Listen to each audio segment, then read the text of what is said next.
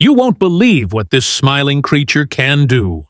This is the axolotl, a real-life Pokemon from Mexico, and it's one of the most bizarre animals on the planet. First off, they're the ultimate Peter Pans of the animal kingdom. They never actually grow up. This is called neoteny, meaning they stay in their baby larval stage for their entire lives. That's why they rock those feathery, frilly gills forever, looking permanently cute. But here's the truly mind-blowing part. You think superheroes are cool? Axolotls have a real-life superpower. Regeneration. Lose a limb? No problem. They'll grow it back, perfectly. Damage their brain? They'll regenerate it. Even their heart or spine can be repaired without any scarring. Scientists are studying them like crazy, hoping to unlock these secrets for human medicine.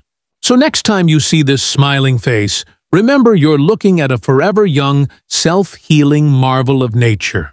Pretty amazing, right? If you enjoyed that, hit that subscribe button for more wild facts. Thanks for watching.